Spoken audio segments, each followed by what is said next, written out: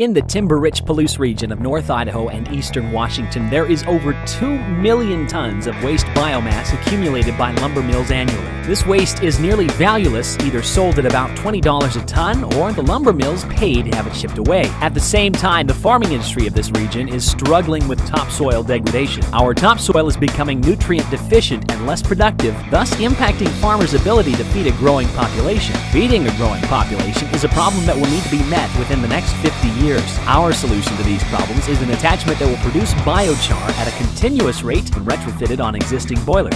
Biochar is rich in fixed carbon and has porous properties that easily absorb and maintain moisture and nutrients in soil. A very powerful soil enhancer, our biochar makes soil more fertile, boosts food yields, and reduces the need for fertilizers. This is an emerging market that has untapped potential and will push lumber mills towards a zero waste operation while also aiding farmers in trying to feed a growing population. It's very simple. We just have a heat source and some, um, some blowers to basically move that heat source so that we can get it up into what will be our uh, pyrolysis chamber up above the boiler. We have a couple probes and viewing ports and things like that on the boiler just so we can use it, you know, for uh, experimentation and actual documentation of the process, but it's really just a basic system. We have an electronic ignition system. Um, built into the control system, which is kind of my baby uh, since I'm the electrical engineer on the project.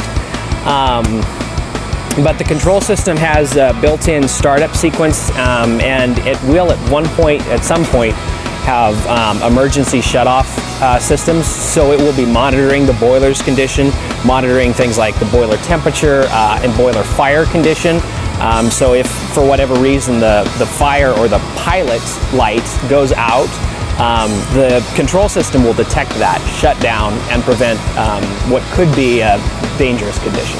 Eventually the pyrolysis chamber will kind of arch up from here. Um, it'll have an auger inside of it um, to, and it's sort of like an Archimedes screw to uh, convey the material, the biomass from one end of the cart to the other. Um, and during that process, it will be going through um, what's known as pyrolysis. Um, basically, we'll be cooking the biomass in a zero or low oxygen environment. Um, so that'll remove the, um, the volatile gases from the biochar, which is the fibrous material left from the biomass.